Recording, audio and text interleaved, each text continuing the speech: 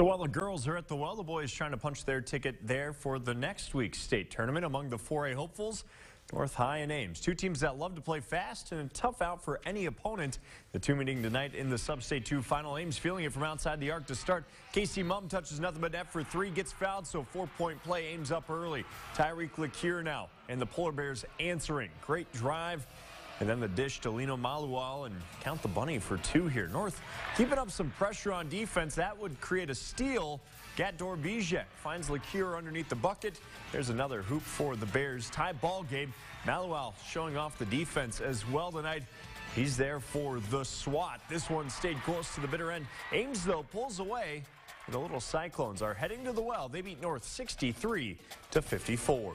The Hoover Huskies trying to pull off the upset against Waukee. This one up at Ankeny High School tonight. Join it in the third quarter. Waukee up four. They go inside to the senior. Dylan Jones, he goes strong for two. Hoover, though, keeping it tight. Kenny Quinn driving into traffic, pulls up, gets the friendly roll, lead back to just four. But back come the Warriors. Michael Vicente drives down the lane, and he uses the window for a couple. Not done there. This time Vicente driving again, fights to the rack, gets it to the fall. Lead up to nine. Huskies with one last push. Jo Hosea Treadwell. No.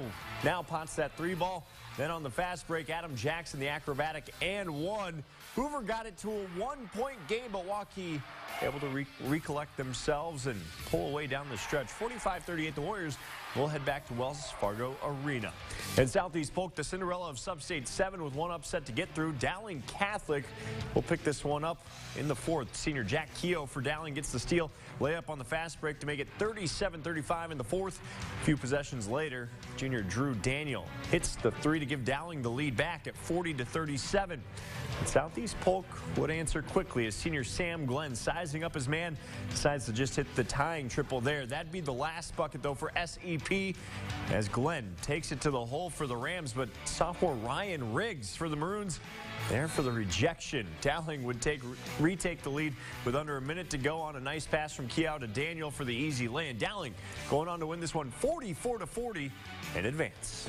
We're going to celebrate tonight. We're going to take a day off tomorrow and then figure out who we play, and, and, and we're going to enjoy this. Um, we were 0-2 and lost our first two games by, I think, 60 points combined. We were 3 and 5 at one point. We were 5 and 8 at one point, and here are 13 and 10 and going to the state tournament. It's a little surreal.